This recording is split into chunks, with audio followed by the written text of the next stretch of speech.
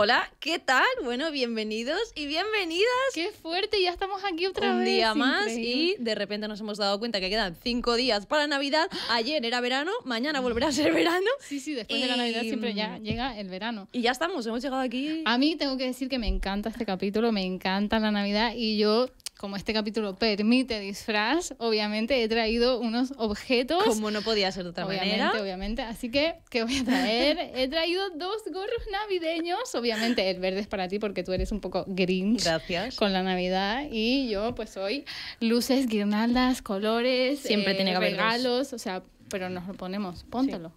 Es que no me cabe. ¡Ay, así te queda genial! bueno, con estos gorros así súper guay como estamos las dos. Pues nada, eh, dentro intro.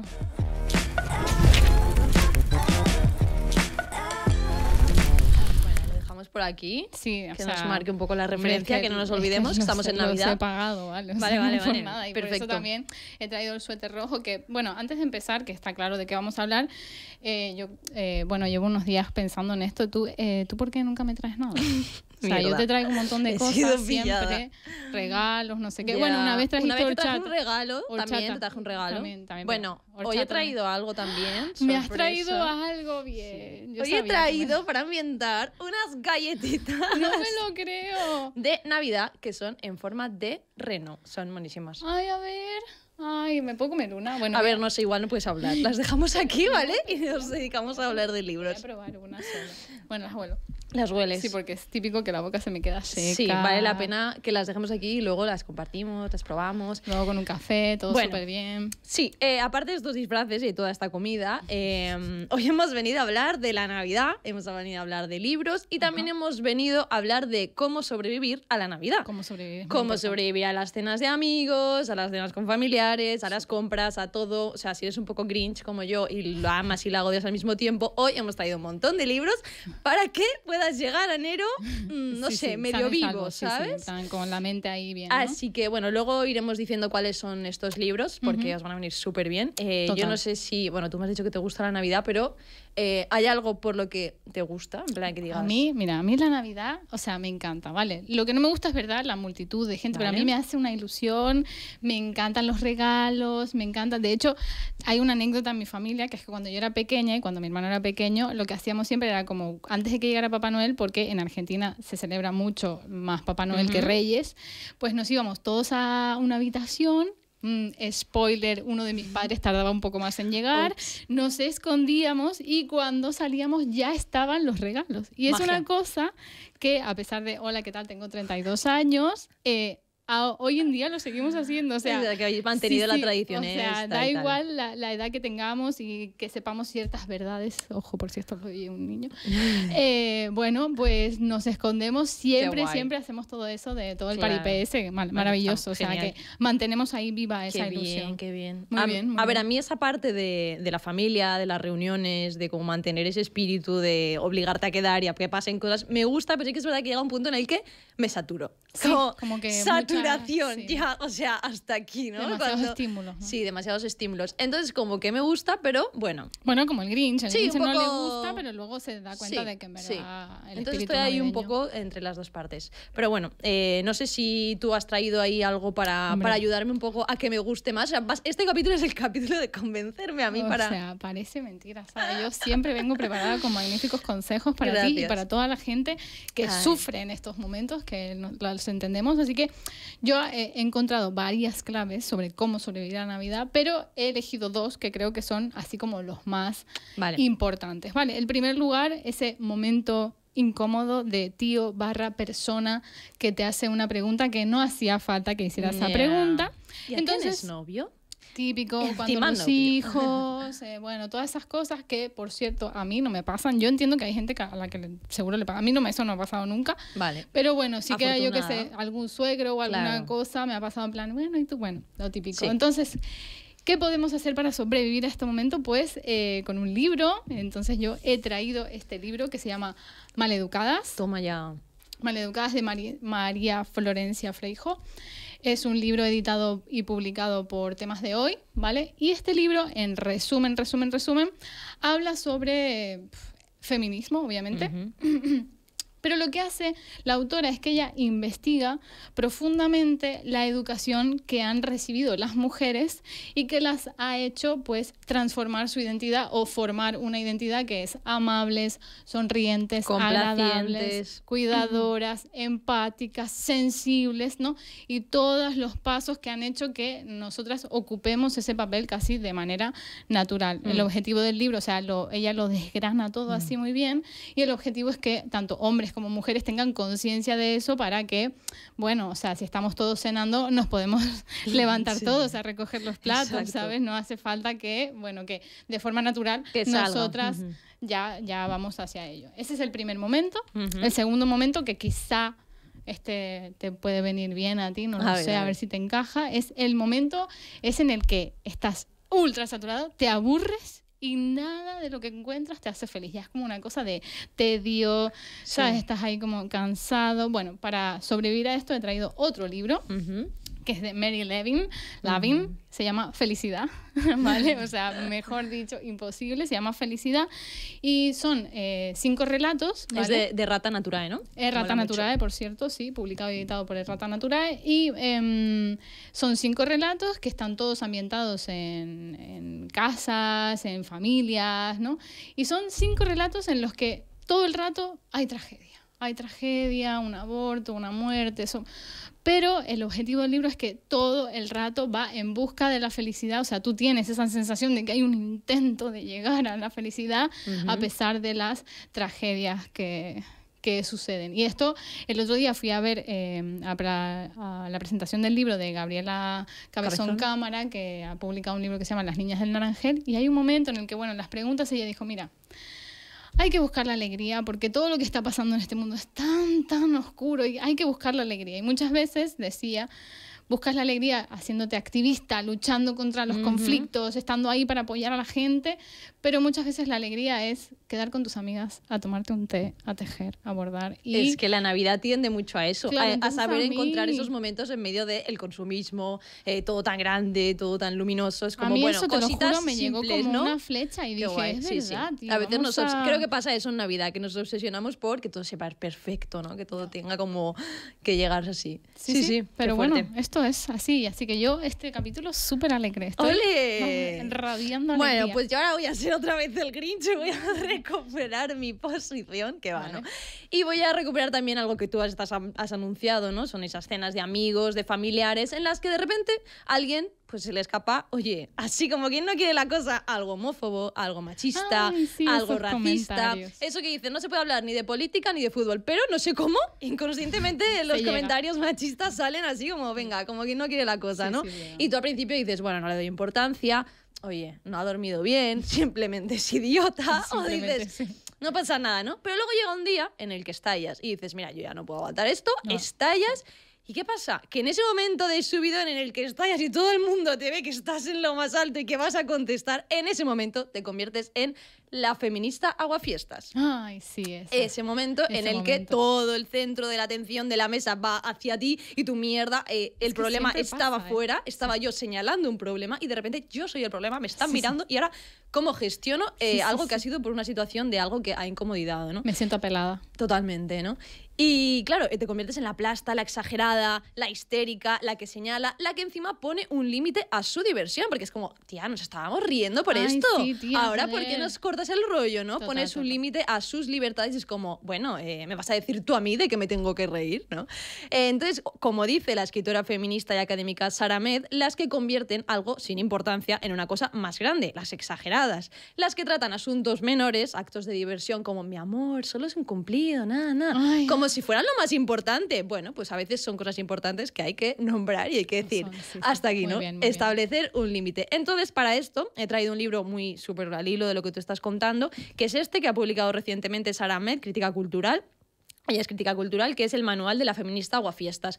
Realmente es un término que ya llevaba mucho tiempo trabajando en otros libros, pero ha dicho, mira, ya que lo he mencionado, ahora que se acercan las fiestas navideñas, a amigas, compañeras, para que no estéis solas, os voy a dar un poquito unas herramientas, voy a explicar de dónde viene el término, porque claro, mm, en inglés es como aguafiestas, sería como kill joy. Kill es matar, joy la alegría. O sea, es perfecto, matar la alegría, arruinar la fiesta, ¿no? Y bueno, básicamente te da recursos, te da herramientas. También me parece muy interesante porque hacia el final te da como a otras mujeres aguafiestas. Te da consejos. Consejos, Me verdades. encanta. Te dice, por ejemplo, referentes como Angela Davis, Audre Lorde. Luego tiene también una parte, pues ella como mujer racializada también habla de esto, ¿no? Ay, Entonces, como de todo. Toca muchísimos temas, te prepara para la batalla, te dice, amiga, de- y tal, y tal. no estás sola y sobre todo lo que es más interesante es que eh, habla de que esto no lo puedes hacer sola. Tú no puedes estar en una reunión familiar que muchas veces pasa cuando Pepito, Juan, Antonio, Manuel, todos los nombres, hombres del mundo dicen una cosa y tú levantas la mano y de repente estás sola.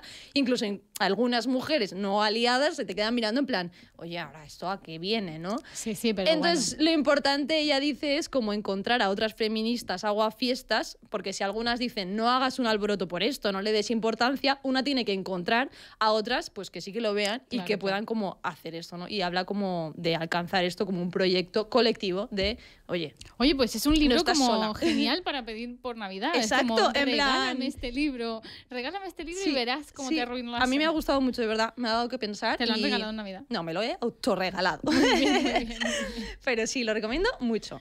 Bueno, eh, con todas estas bases ya mm, posicionadas y puestas. Ya, sabe, ya se marcadas, sabe de dónde venimos sea, y a dónde vamos. Totalmente, creo que se ha mostrado nuestra identidad.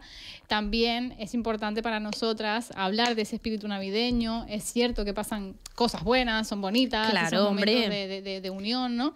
Y entonces hemos traído otro, otro, un segundo bloque que, bueno, se llama mm, recuperar la ilusión por la Navidad. Hemos empezado O como... sea, hemos empezado como ahí con hachas. ¿Hachas? Ahora machetes. vamos a hacer un poquito de Exacto, y ahora vamos a... Bueno, pantano eh, relax. Sí, sí, pero también, o sea, nosotros hem- hemos traído buenos libros que, que, bueno, que cuentan historias y que son importantes.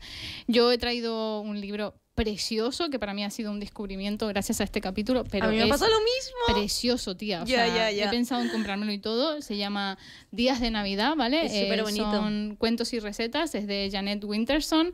Es precioso, chulísimo.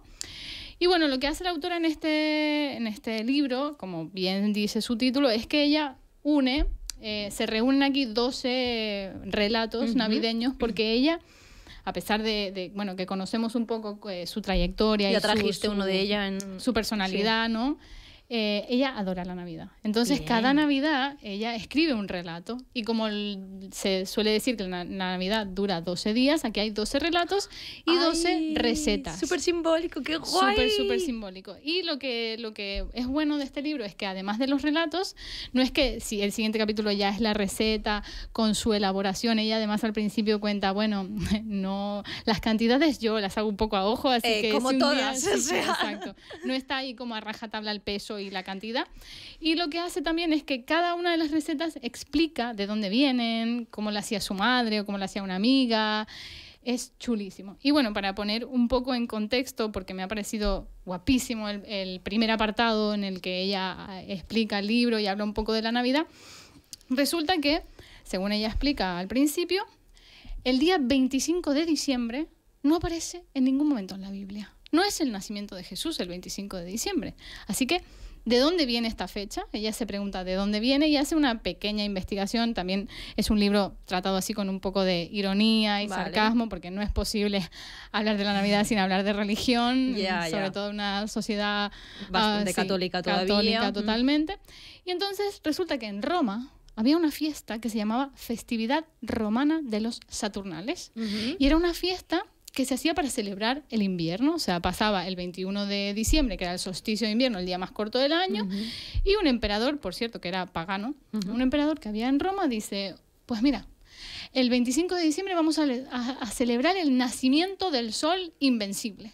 Y marca el, el 25 de diciembre, así que cada 25 de diciembre había una fiesta. Vale. Y la iglesia que andaba por allí mirando en plan, ah, Dijo, mira esta "Ah, gente, no sé qué. idea". Y entonces se adherió, por así decirlo, la iglesia a la frase esa, si no puedes con ellos, únete, a ellos.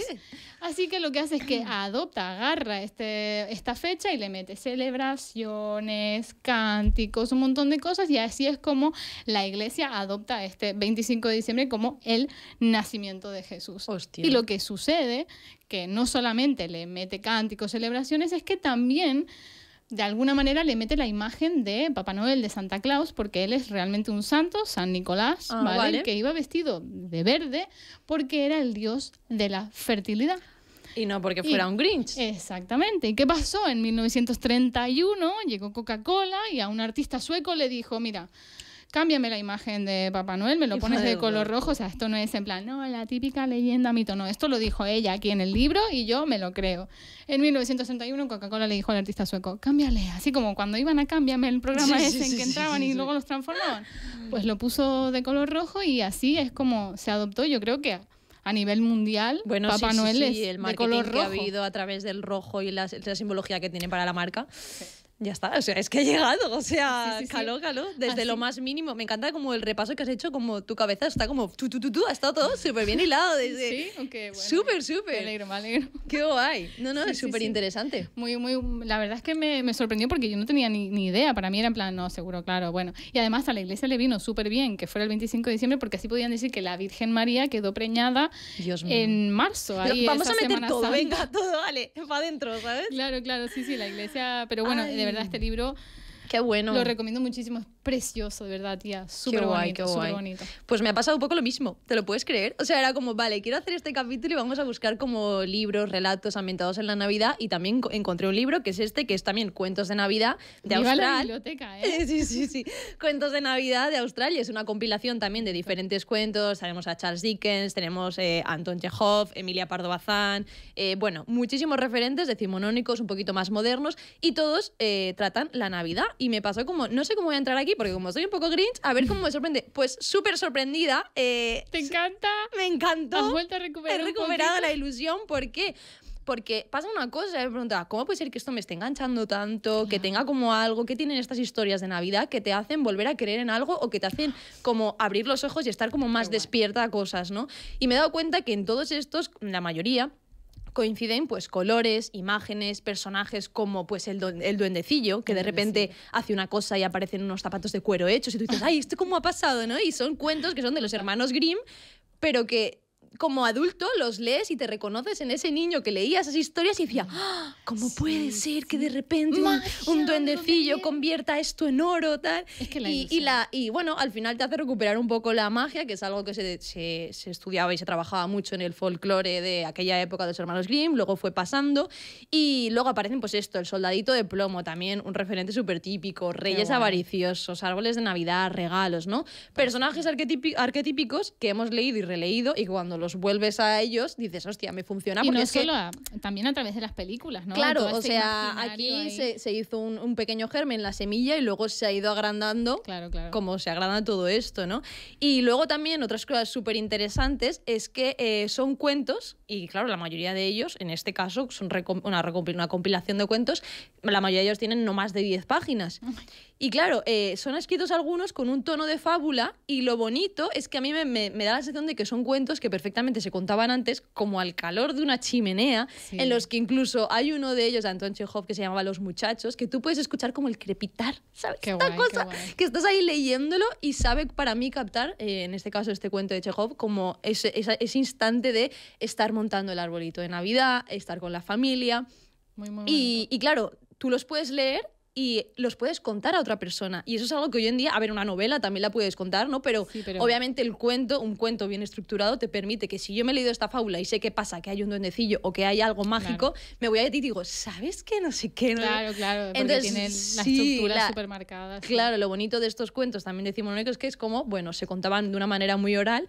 Y luego también, muy interesante, es que eh, hay cosas que se repiten en ellos. Por ejemplo, se repite la familia. Claro, vale. El regreso. Este de los muchachos es un chico que vuelve a casa después de tres meses estudiando fuera. Entonces es como que son elementos y, y simbologías que aparecen en muchos de ellos y que puedes localizar. Pues eso, la nostalgia, que regrese a casa, ¿no?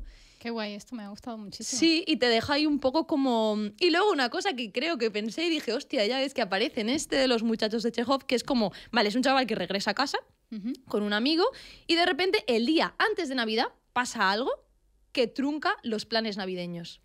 Un plan, un proyecto que tiene esta persona que obliga a toda la familia a como a que desmorona el plan navideño y pensé, hostia, es que esto también es un arquetípico, o sea, algo tipiquísimo que le vemos en las películas cuando estás a punto de que sea el 25, algo falta, algo, Algo se rompe, sí, sí, sí. eh, mm, cualquier drama estalla. Y es ese clímax de, antes de que llegue la Navidad, ¡fum! Sí, sí, sí. Luego ya hay un Además, siempre, dulce. sí, siempre es como justo antes. Y bueno, no sí, es como, todo, pero, ah, en, todas las familias, bueno, la mía es como 24 de diciembre, estrés, todos estrés. Sí, sí, dúchate Falta ya, esto, no sé qué. quita fuera. Y más si solo tienes un baño, como Y es yo, mi mamá, casa. ¿dónde tienes medias? No tengo medias, ¿qué me pongo? Siempre hay este momento de clima navideño de no puedo más. Luego Drama, siempre acaba con un momento así más dulce o no, pero... Sí, eh, sí, suele acabar bien. suele bueno, acabar no sé, me ha gustado mucho como adentrarme ahí en estos cuentos. Me has, eh, hecho, me has hecho recordar, porque al final de este libro de Janet Winterson hay una especie de mm, felicitación navideña para todos los lectores y para todos todo lo- los que lo leen y los que lo tienen. Y hay una parte en la que ella dice que llega un momento, bueno, ella, eh, su historia es que ella eh, se enamora de una mujer, ella es lesbiana, y cuando su madre se entera la echa de casa. En plan, no mm, puede Es que la historia de. Janet también es dura, ¿eh? O sea, por eso me Superdura. sorprende que haya como Sí, como que recuperado esto, esa sí. ilusión porque es una mujer que también Sí. ha sufrido Lo ha mucho sufrido un la, la montón. homofobia. Su, su familia era muy, muy, muy religiosa, pero su madre amaba la Navidad. Y entonces resulta que la madre la echa, ya se va a estudiar fuera. Mm. Y eh, de repente recibe una postal eh, de su madre, después de muchísimos meses sin hablar con ella, en el que le pone, volverás a casa por Navidad, besos tu madre. Es que esto es... Y entonces ella vuelve a casa por Navidad, vuelve acompañada eh, de una mujer que llama a su amiga, ¿no? Eh, y bueno, esta es la última vez que ella vive eh, la Navidad en casa porque pasan cosas mm, no muy cómodas, la verdad, con las que ella no se siente a Qué gusto fuerte. y no vuelve a, a casa por Navidad. Pero mm, no, no vuelve a repetirlo. Luego su madre fallece en 1990 y ella habla y dice, bueno, me entra el arrepentimiento, puede que sí, por algunas cosas, pero Sí, por digamos- eso también eh, quiero esa alegría, quiero ese amor, recordar de ese amor en Navidad, Qué esa buena. unión. Y me pareció como, ¿sabes? Como si ella misma cerrara, cerrara el Qué ciclo. bueno. Y, y has dicho una cosa que es lo de el crepitar de la chimenea y es muy es como muy europeo porque en Argentina es la Navidad es verano. Es verdad. Es verano, es 100% verano calor. Claro, y Papá claro. Noel viene en pantalón corto y bañador, ¿sabes? Entonces, claro, hasta que yo no me mudé a España, yo no sabía, en plan, eso de la nieve, el frío, Bueno, la sí, chimenea. Que en verdad es muy europeo porque en- en, Claro. España... Claro, entonces, calor. pero tú cuando yo Sí, veía las sí. películas de Disney pensaba, ay, la gente tiene frío en Navidad, qué raro, ¿sabes? Qué como, bueno. como que- Qué que- disociación. Sí, sí, sí. Qué heavy. Sí, sí. Y bueno, he traído, has nombrado a Charles Dickens, he traído el libro, el cuento. el gran cuento mito. navideño. Sí, sí, el gran cuento navideño. Eh, se llama Cuento de Navidad, es de Charles Dickens. Bueno, marca una especie de antes y después. También se puede llamar Canción de Navidad, es que el cuento de Navidad estaba ¿Y hay cuántas cogido, adaptaciones cinematográficas? O sea, hay como 250 Ayer lo estábamos buscando, 17.000. Sí, sí, hay muchísimas, de muchas maneras, algunas mejores, algunas peores. Yo Eh, Pero bueno, eh, contaré un poco de qué va este libro. Pues resulta que aquí se cuenta la historia de Ebenezer Scrooge, que es un viejo, amargado, codicioso, egoísta. Siempre hay viejos en la Navidad, Sí, así sí, como... sí, es pecador, incorregible. Entonces este señor resulta que mm, su personalidad ahí fea todo el rato la, la marcaba, la iba y le decía, le hablaba mal y no sé qué, y se comportaba fatal. Y un día este señor tiene un sueño en el que ve que si sigue comportándose con ese egoísmo horroroso, va a vivir un montón de desgracias. Wow, le revela ya... Claro, entonces cuando se despierta decide que va a cambiar. Y bueno, para no desvelar cómo termina este libro, que más o menos creo que se puede, se puede ver, eh, Charles Dickens lo que busca un poco es eh, hablar de esas segundas oportunidades, hablar de que cada, cada persona en ciertas ocasiones se merece una segunda oportunidad. Eh, las segundas oportunidades es un- como un tema súper cliché dentro de lo que es la Navidad. Y bueno, es un libro que, que nace en la época victoriana. El siglo XIX, por así decirlo, es como el siglo de la Navidad. ¿Qué pasó ¿sabes? en el siglo XIX El siglo para que de repente la Navidad volviera a ser como un elemento indispensable en la literatura? El siglo XIX lo que le pasa es que hay como una sensación común de que se echa de menos esa tradición navideña. Entonces, por ejemplo, los elementos como los árboles de Navidad, que los árboles de Navidad son o pinos o abetos, son unos eh, árboles perennes, es decir, no pierden sus hojas en el invierno. Entonces la gente cuando viajaba, por ejemplo, iba caminando de un sitio a otro, se encontraba con en mitad de un bosque todos árboles raquíticos sin hojas ahí y en medio un abeto o un pino y decían, claro, me voy a refugiar aquí. Entonces los árboles, este tipo de árboles es como un árbol Hogar. que simboliza la vida, la supervivencia, el hogar, es como una guarida, ¿sabes? Entonces, todos esos elementos empiezan a meterse dentro de las casas y a meterse dentro de la cotidianidad de la gente. Y lo que hace también Charles Dickens con este libro es cómo puedo yo contarle a la gente del día a día las penurias que vive la gente, eh, las desgracias. Es que la Navidad, los cuentos de Navidad, muchos de ellos eh, muestran un rostro de la pobreza De absoluto. pobreza o sea, hay uno de Emilia sí. Pardo Bazán en este que he cogido que utiliza a un pobre burrito, pero muestra como las, las humillaciones totales. Ya, ya, sí, sí. Es que yo lo estaba pensando en plan de. Hay un montón de cosas tristes y feas. Porque una serie también de es la- la otra parte. Sí, sí, sí. O sea, es como. Eh, pero que eso lo ven los niños, ¿sabes? También lo pensaba, era como, pero bueno, bueno, total. Que un poco es. es eh, esa sensación de esas segundas oportunidades y sobre todo creo que lo que marca este libro y esta época es esa nostalgia por Ujú. la Navidad, que había que era como una sensación común en el siglo XIX y por eso se empiezan como A recuperar met- los Claro, o símbolos. sea, si no podías ir a algún sitio, pues tu casa tenía esos símbolos y esas cosas, el árbol, ¿no? La unión. Y también esto de las segundas oportunidades, como este señor pecador malo, pues al final no es tan malo y también recupera un poco Qué la bien. ilusión navideña. Qué bien, pues oye, yo vengo preparada también con algo de nostalgia. Es que Qué no coordinadas, ser, ni que esto, esto no está preparado Ni nunca, estuviera ¿sabes? esto preparado. Eh, bueno, sí, porque lo que decíamos, ¿no? Es una época en la que cuando más intensamente tú vives la Navidad es cuando eres un niño o una niña, ¿no? Y, y todo es bonito, todo hay regalos. Tú no terminas de ver la tristeza, tú todo es emoción y es vivencia, tal, ¿no? Entonces, eh, y sabes que justo es en esta primera juventud, entre, digamos, también los 15 y los 29 años, ¿vale? Cuando se manifiesta con más fuerza la nostalgia ese momento en el que el volumen de la vida pasada es todavía significante, que esto lo dice Milan Kundera. ¿Qué quiere decir esto?